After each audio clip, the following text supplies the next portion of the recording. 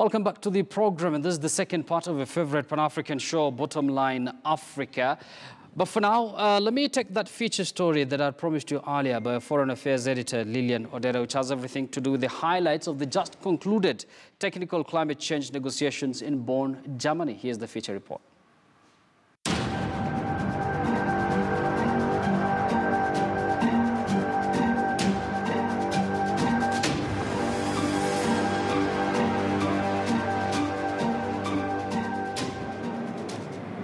Is a matter at the core of every global development concept, one that is forcing governments to remodel their development indices to reflect the increasing global demand to entrench the matter in their development blueprints. Climate change and its potential threat to alter life in its current form if left unchecked. So for the next two weeks, governments sent their strongest delegations yet for another round of negotiations on climate change that would take place from the 30th of April to 10th May 2018. The agenda to further develop the guidelines for implementing the landmark 2015 Paris Climate Change Agreement. This aimed to allow the agreement to become operational. The guidelines or operating manual are needed to unlock practical actions to realize the full potential of the agreement. The overarching intent of that agreement being to keep global warming well below 2 degrees Celsius and ideally 1.5 degrees Celsius. Scientists are warning of catastrophic consequences if worldwide emissions do not trend down by the year 2020. The first week of negotiations just came to an end here at the United Nations Framework Convention on Climate Change. And the African delegation is putting up a very strong case. Their argument is that Africa should not pay for mistakes it did not create in the first place. And therefore, they want the developed nations to put in more funds to help the continent mitigate the effects of climate change. It is important for the African continent to be here because when you are not on the table, discussion table, others decide for you. Yes, I know Africans are very paranoid now that for the last 23 years or so or more, we've been doing these conferences and the, the farmer on the ground is not seeing any change. That is true. The, the pastoralist is not seeing any change uh, as an outfall of these conferences. But we're saying that it is important to be there, not only to expect something from, um, from there, it's a legitimate right to expect, but also to tell our own story, our own side of the story. Let the world understand that Africa is suffering from a problem they never created.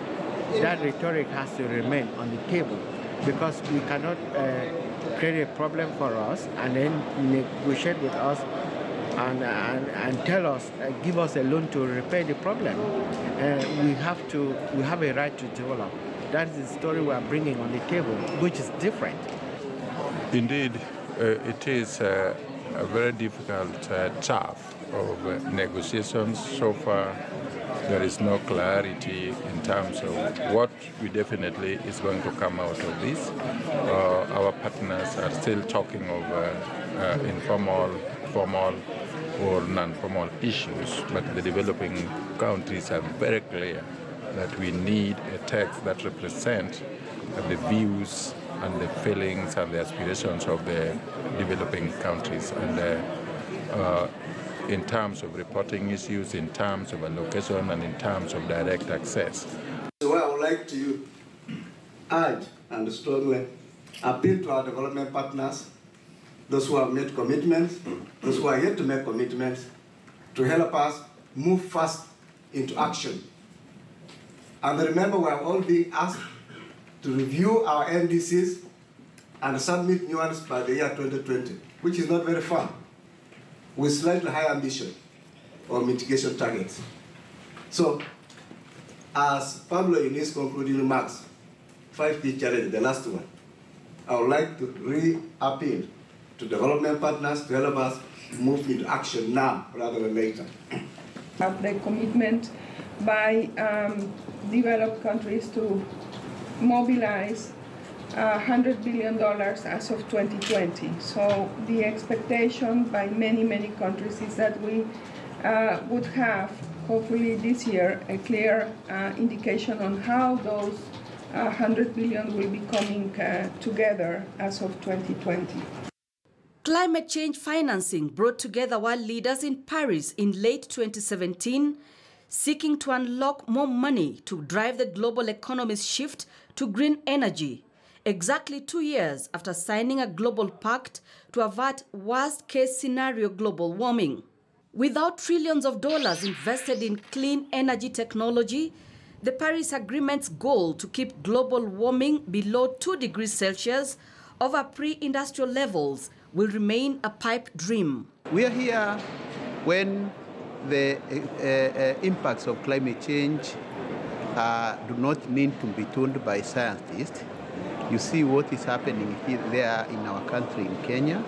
You have seen uh, the, the, the, the floods, the way they are causing devastation in communities, in cities, and uh, many other problems. And the tragedy is when there is a, a, a drought, you see it comes with the consequences. And when it rains, you see the consequences. The problem is our policymakers do not relate these things. And you see all these things, we have been talking about them.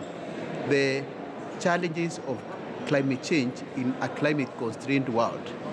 That when it rains, it comes with the consequences you are seeing in Kenya.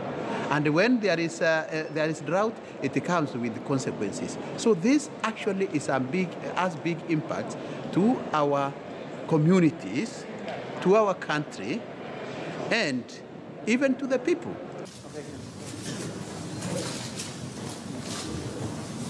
Right now, the effects of climate change are already being felt by people across Africa. Evidence shows that the change in temperatures has affected the health, livelihoods, food productivity, water availability, and overall security of the African people. I said we cannot change our cultural practices. So how can we, you know, uh, slowly of course they are changing, but in the meantime, how can we help our pastoralists cope? So this app has already been has been developed and it, it shows the farmers on their smartphones where they can migrate with their cattle, you know, so that they can move in a more more knowledgeable um, fashion as they as they try to look for pasture for their cattle.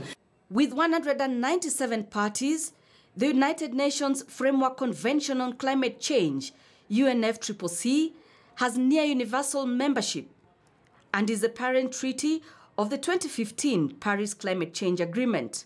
The UNFCCC is also the parent treaty of the 1997 Kyoto Protocol. The ultimate objective of all agreements under the UNFCCC is to stabilize greenhouse gas concentrations in the atmosphere at a level that will prevent dangerous human interference with the climate system in a time frame which allows ecosystems to adapt naturally and enable sustainable development.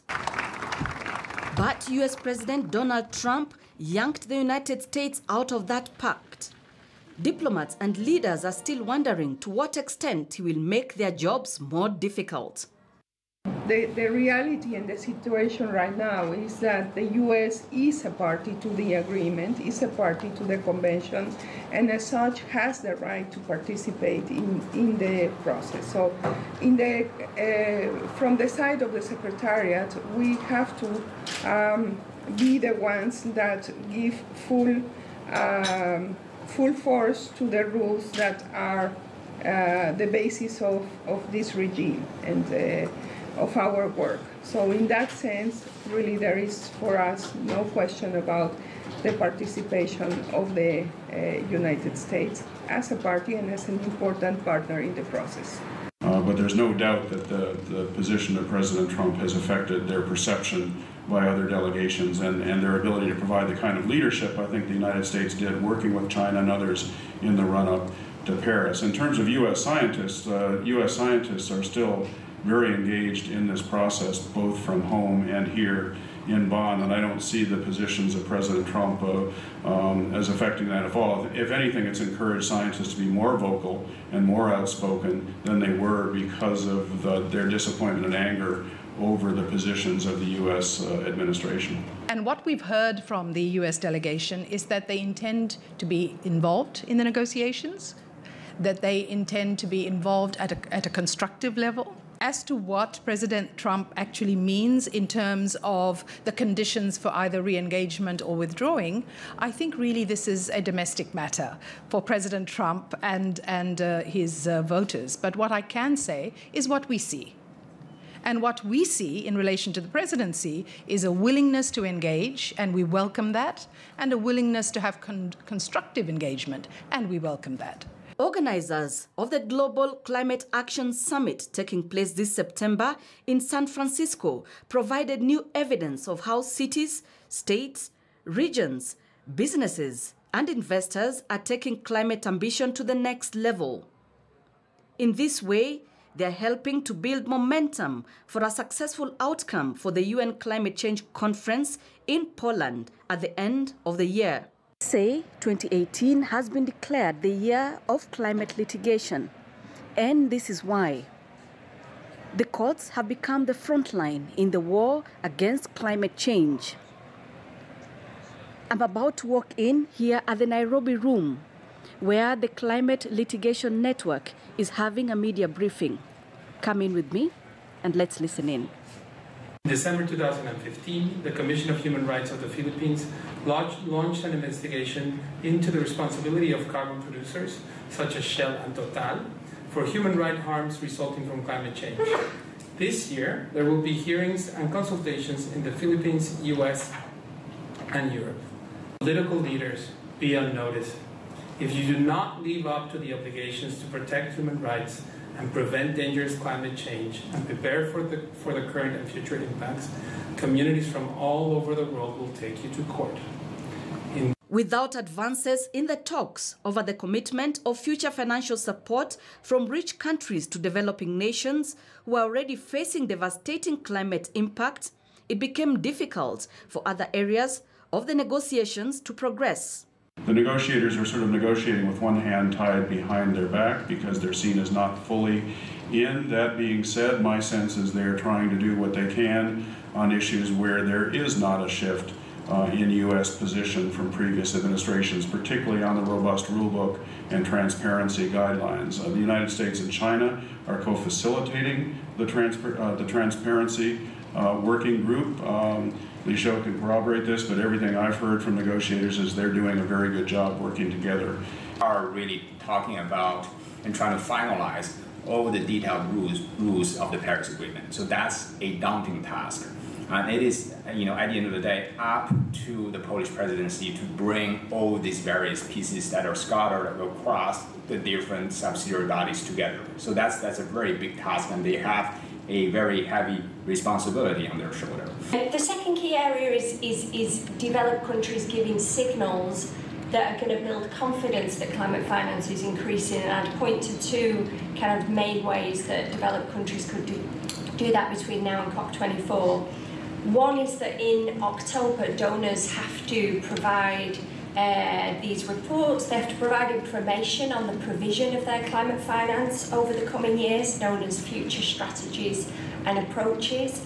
Um, a lot of these reports in the past have been pretty weak. They haven't given too much information on what they're going to provide, um, but they are an opportunity for, for donors to really show uh, that they're committed to increasing their climate finance at a steady pace, that they're committing to increasing grant-based support, adaptation support, support to LDCs, all areas which are neglected and would help build confidence if they're addressed. The negotiators are now looking at another preparatory session before COP24 to make progress on a number of technical issues. The sessions will be held in Bangkok, Thailand in September.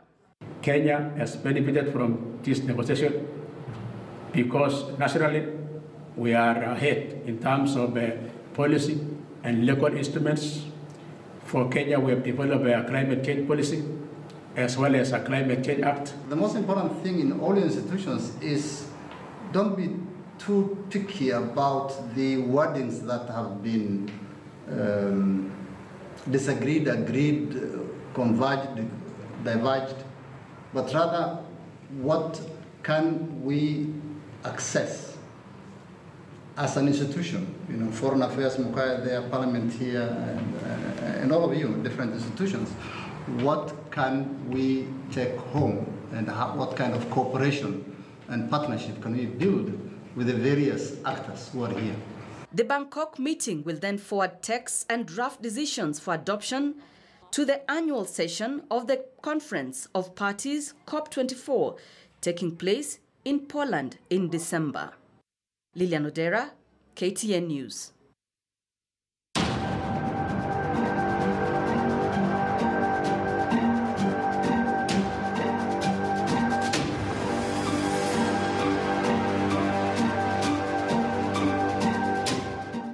And of course, that report by Lilian Odera brings us to the end of our program tonight. Many thanks for watching. My name is Yusuf Ibrahim, but now I'll leave you with our proverb of the day. Bye-bye and enjoy the rest of your night.